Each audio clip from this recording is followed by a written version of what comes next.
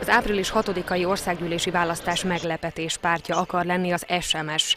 Nem hosszú párt programmal és nem ígéretekkel kampányol a Seres Mária szövetségesei választási szervezet, hanem az igazságot tűzték zászlajukra. Erről is beszélt Szombathely főterén a párt elnöke. Célként szabad, önálló települési önkormányzatokról beszélt, és kiemelte az oktatás fontosságát. Azt mondta, egy alulról jövő kezdeményezés lehet a megoldás Magyarország problémáira. A pártja megfogalmazott célja, hogy ne kelljen az embereknek félelemben élniük. Seres Mária és az SMS Vas megyei jelöltjei azt hangsúlyozták, hogy elég volt a jobb és a bal oldal ígérgetéseiből.